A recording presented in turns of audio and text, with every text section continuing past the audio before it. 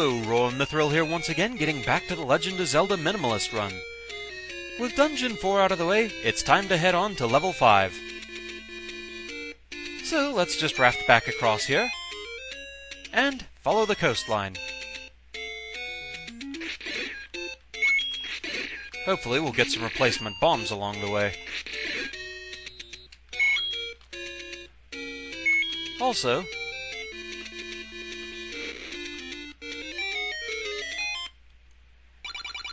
it's a secret to everybody. But, cheapskate. Your brother's paid a lot more.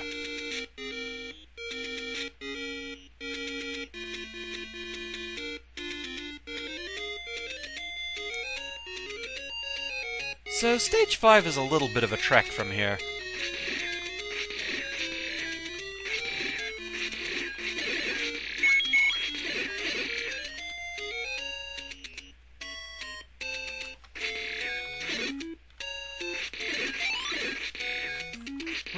Some bombs get dropped. Well, for now I'll be happy with the fairy anyway.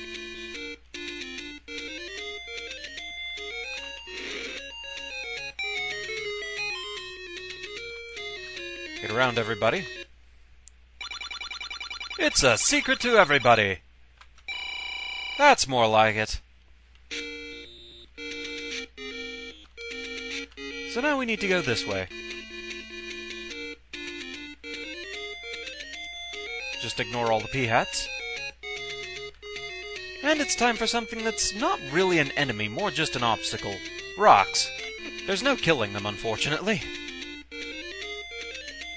Basically, you just have to try and dodge them. Well, there's that waterfall.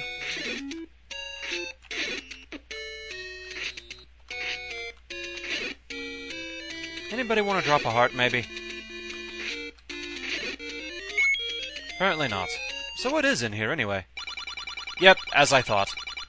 If you pay her the middle amount, she'll tell you how to get to the fifth dungeon by saying to go up, up, up, up the tall mountain.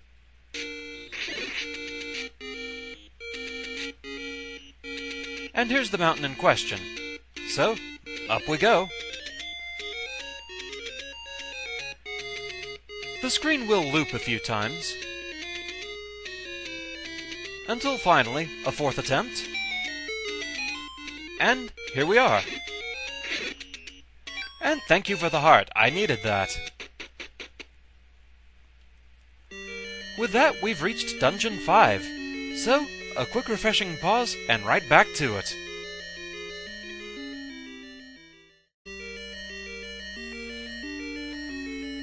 And welcome to the fifth dungeon, the Lizard. This is another one where we're actually going to need the special item hidden here, so let's get right to work. First up, meet Pols Voice. Don't let their attempts to look like cute innocent bunny rabbits fool you. These things hurt a lot if they hit you, two hearts worth of damage per hit. Fortunately, they're severely allergic to arrows.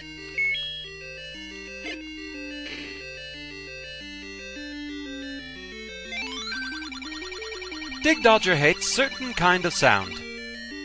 Cryptic as that may seem now, it's actually going to come in as very useful information later on.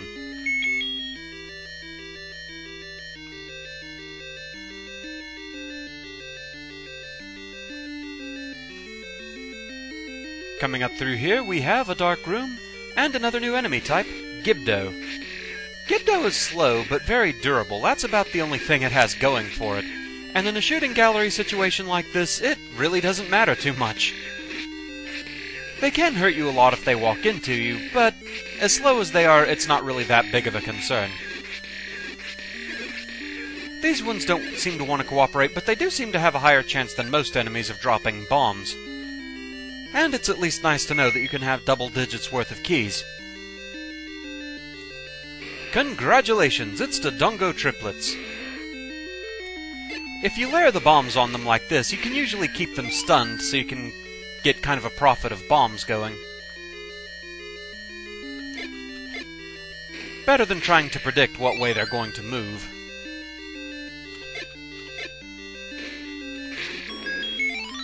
There we go.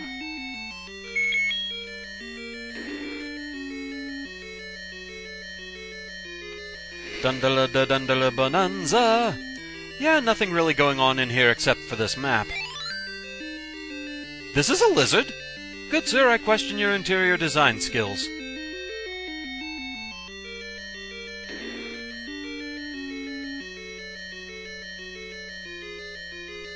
A simple enough room here, just a few Zols to get rid of. And the wish that I could take that fairy with me for later. So here we have a bunch of Gibdos, one of which is very obviously carrying a bomb. Now we need to open up both sides of this room. But we do have a couple of spare bombs to play with anyway.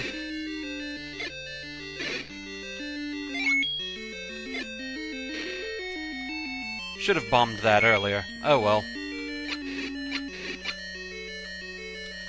I want to keep as many bombs as I possibly can, because uh, I might need them in a bit. Things are about to get a lot harder.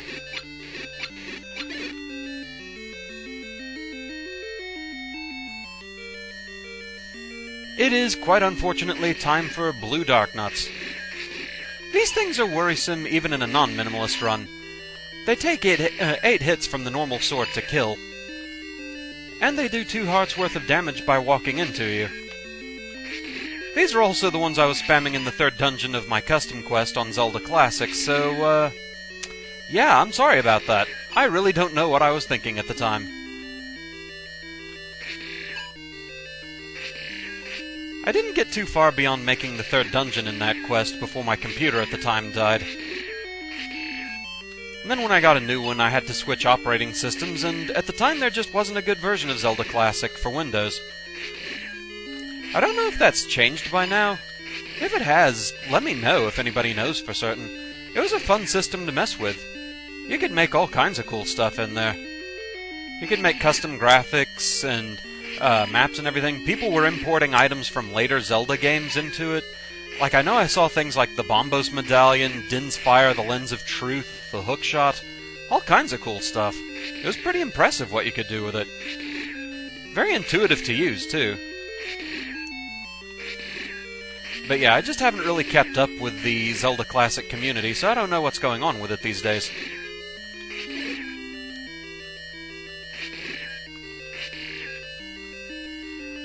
For those wondering, I'm not just driving myself batty for no reason. You do actually have to kill all these Darknuts to progress.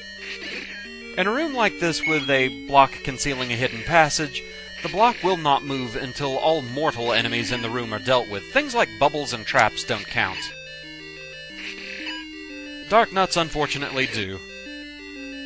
But we have a lot of natural cover in this room, so it's not too bad. Especially once you start thinning out the herd a bit.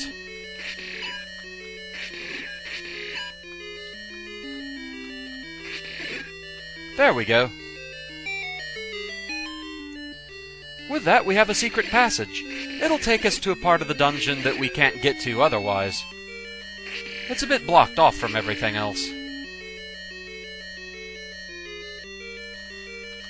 Quite unfortunately, though, it leads to another room full of blue Darknuts.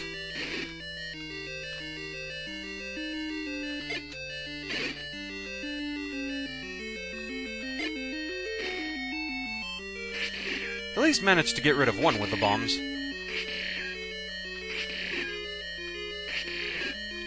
I still don't want to use too many bombs if I can help it, just due to what a limited resource they are.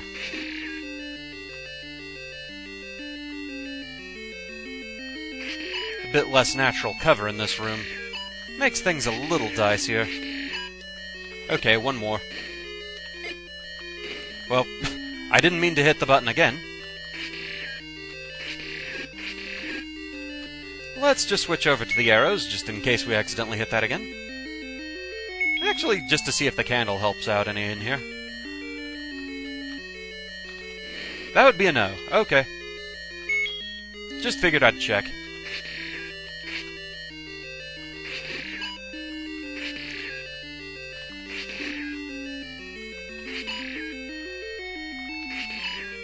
If I could just get past these guys, they're pretty much the worst part of the dungeon.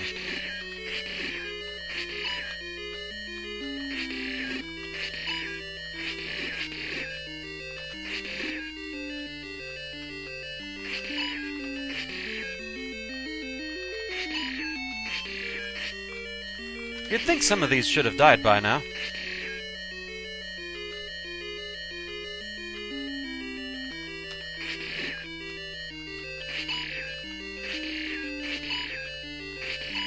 Oh, come on.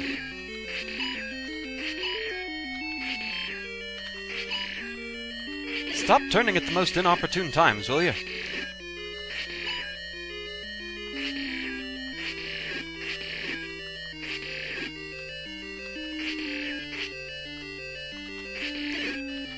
Okay, we're slowly getting through this room. Suppose I can verify that I have been told that the way you kill Gleeok in a swordless run is you kind of have to skip dungeons. You've got to go through that dungeon just long enough to get the step ladder, and then go to a later dungeon to get the magic wand, which, if you have the sword, you don't need. So in a swordless run, you're actually getting more items because you still end up needing the sword to beat Ganon. Plus, you have to take the magic wand. So, by picking up the sword, I'm actually doing more of a minimalist run. That kind of amuses me, actually.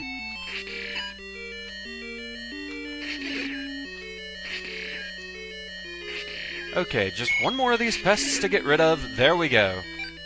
So now we can push this block out of the way. And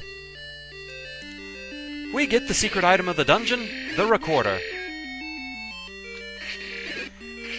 When played in the overworld, the Recorder will warp you between dungeon entrances as long as you've been to that dungeon. That can be pretty handy, but it's not the main reason we got it. It actually is needed to open one of the later dungeons in the first place. Also, it's needed to defeat the boss of this dungeon.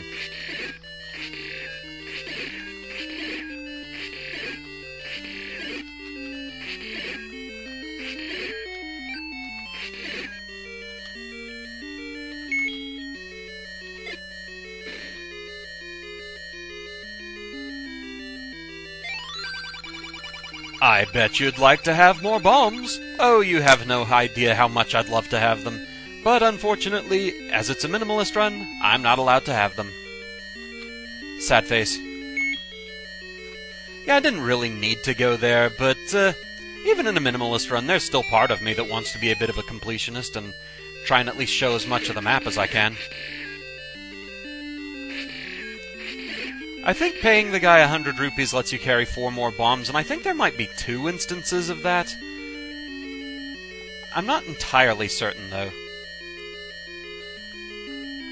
It's been so long since I've played the game, I actually forgot that you could even upgrade the bombs.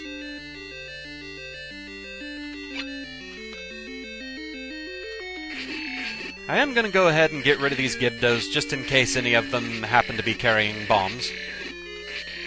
Bombs, bombs, bombs.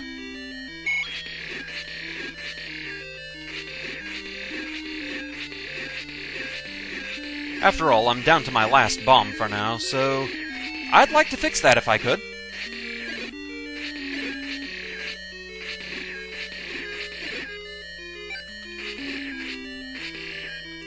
They seem determined to be uncooperative. There we go. Thank you. So now we need to go out this way. That's why we had to bomb this wall, because that door doesn't open again. And what are you guys doing on this side of the gap? You're not supposed to be here.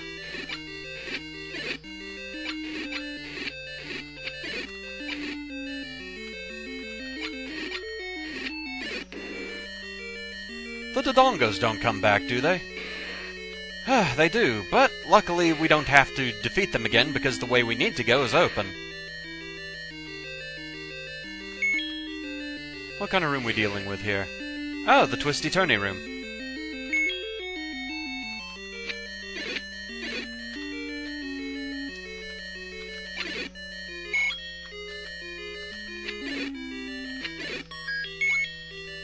And our reward is more gems, always lovely.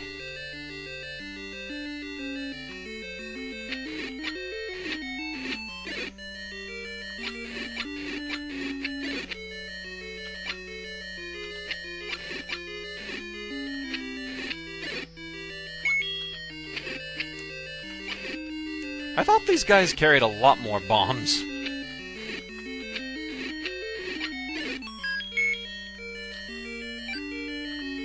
Now, I know it's fairly certain in uh, Link to the Past that if you freeze them with the Ice Rod or uh, the Ether Medallion and then smash them with the hammer, you can usually get magic upgrades from them.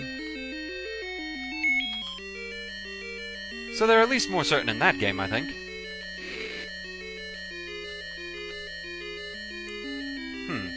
Well, I can at least hide here from them.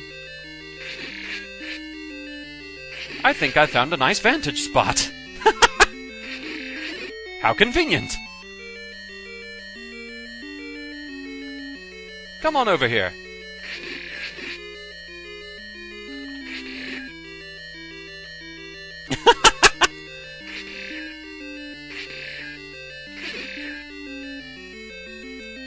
As much trouble as the blue ones gave me, I'll take what advantages they'll give me.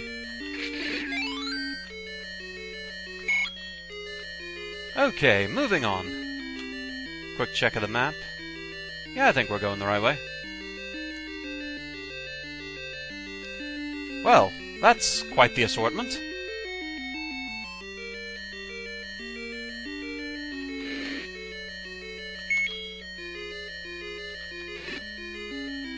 Want to get rid of the Pols Voice quickly.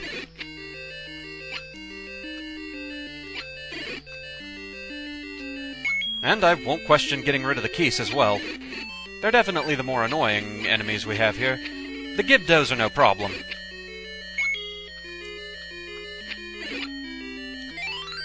Always the final enemy! Never fails!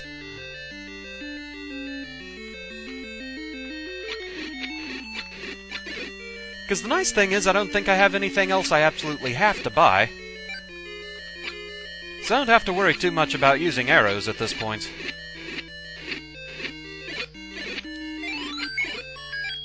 And there, we're maxed on bombs again.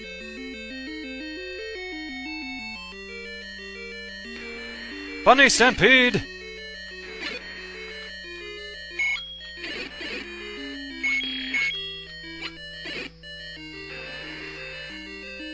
Okay, it's boss time.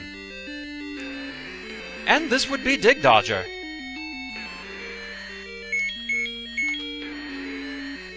Well, he does hate certain kinds of sound.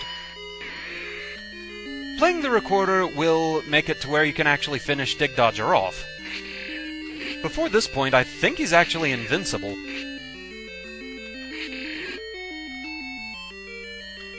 He is a bit of a spaz at this point, though. Oh dear, and still hurts a lot.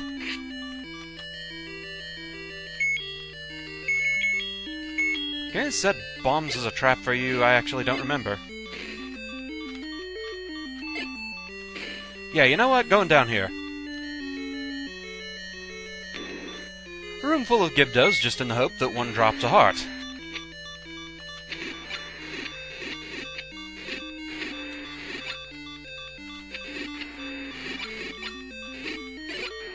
A fairy would be all the more appreciated.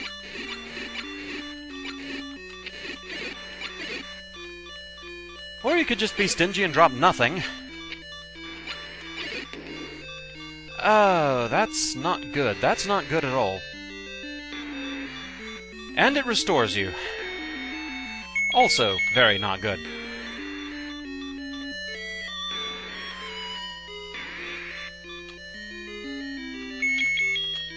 Don't suppose arrows work on you. Yes, they do. Okay. If they're going to give me a good hiding hole here, I'll use it.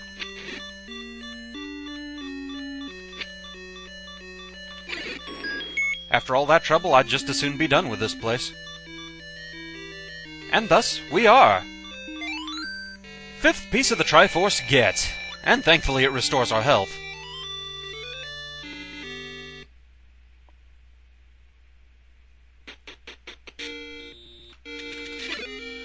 Almost forgot about that lever. One weird thing I want to show here before we're out. I think it's this one.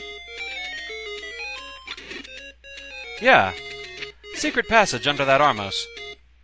And it just leads back into the dungeon, the same entrance. what do?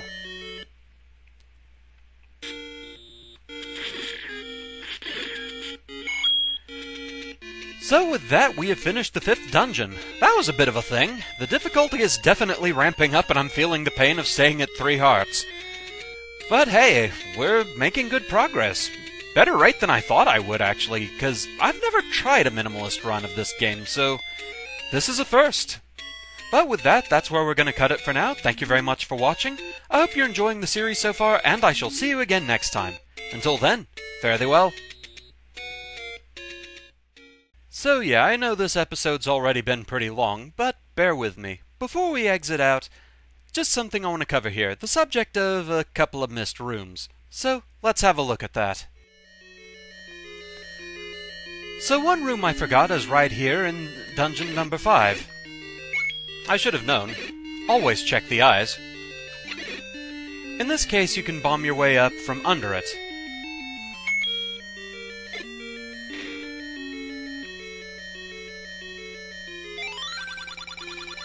Secret power is said to be in the arrow. Now, I'm not quite sure what he's referring to this time, unless maybe he's talking about that the silver arrow has some power in it that you need to defeat Ganon. That's the best I can guess. Also, just proof of concept. The heart containers do remain, so if for whatever reason you just want to get them later, you can. The other one that I supposedly missed was back here in the second dungeon, the moon. I was told there's a secret rupee room in the lower right-hand corner of the map. So, let's check it out.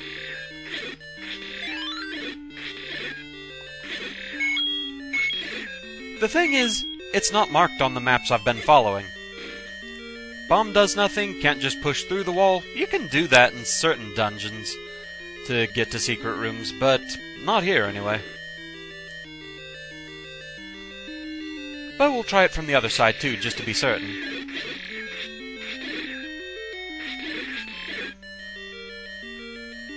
Can't push through. And can't bomb. So, yeah, this room just doesn't actually seem to be there. For the sake of thoroughness, I also checked the upper right corner and the lower left corner, and still no dice. So, yeah, I'm afraid this one just doesn't really seem to be there. And with that, I think that brings us to the close of this rather long episode. Again, thank you for watching, hope you're enjoying, and I shall see you again next time. Until then, fare thee well.